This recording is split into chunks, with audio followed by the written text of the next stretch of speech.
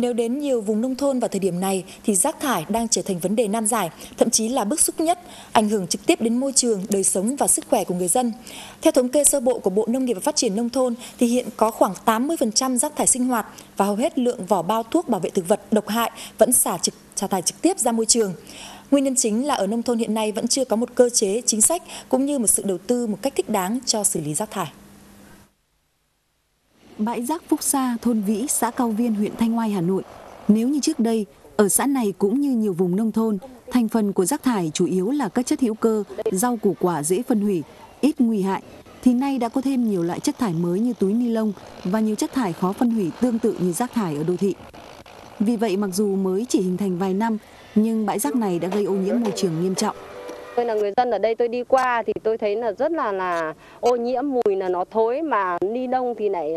à, bay hết cả xuống cái ngàn rau này. Thế nên dân ở đây là bây giờ chúng tôi là không có dám ăn cái rau này đâu.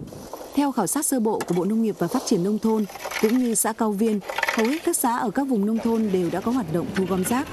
Tuy nhiên có đến 80% số xã không có bãi trôn lấp rác đạt tiêu chuẩn. Các địa phương không có đủ kinh phí để xây dựng khu xử lý rác. Tiền phí đóng góp của người dân chỉ đủ duy trì hoạt động thu gom rác. Vì vậy hầu hết rác thải ở các xã nông thôn sau khi thu gom xong đều đổ ở các bãi chôn lấp rác tạm thời mà không có bất kỳ một biện pháp xử lý nào. Ở huyện và xã thì cũng chưa có các cái chính sách hỗ trợ nhiều về cho các cái nhân viên vệ sinh môi trường dẫn đến là cái hoạt động của các cái nhân viên vệ sinh môi trường chưa được đảm bảo.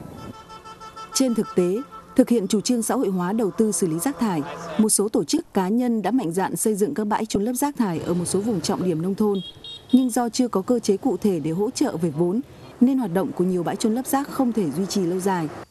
Khu xử lý rác thải núi Thong, huyện Trương Mỹ, Hà Nội do một đơn vị tư nhân đầu tư với tổng số vốn đầu tư cách đây 6 năm là hàng trăm tỷ đồng, nhưng hiện vẫn phải ngừng hoạt động do đơn vị không có đủ kinh phí đầu tư xử lý một cách triệt để các loại rác thải. Lựa chọn một cái công nghệ cho nó phù hợp với cái rác thải của Việt Nam cũng là một điều rất là khó khăn hiện nay. Hai cái mức đầu tư của cái công nghệ mà uh, hiện đại với cái giá thành nó khoảng tầm 17 đến 20 triệu đô là cả một cái mức đầu tư nó quá lớn so với doanh nghiệp. Theo cái phương thức đầu tư thì là phương thức xã hội hóa thì bằng nguồn vốn của doanh nghiệp 100%, không có cái sự hỗ trợ của nhà nước. Cho nên rằng là doanh nghiệp cũng gặp khó khăn.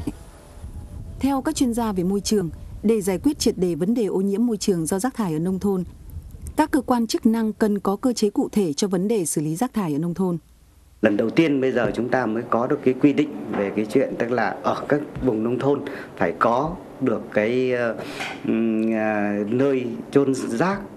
nơi đổ rác rồi là nơi xử lý cái cái cái rác thải ở nông thôn. Thế còn lại ờ, những cái loại chính sách khác hỗ trợ ví dụ như là hỗ trợ về tài chính hay là uh, cơ sở vật chất hay là phương tiện thì cái này thường là do các địa phương người ta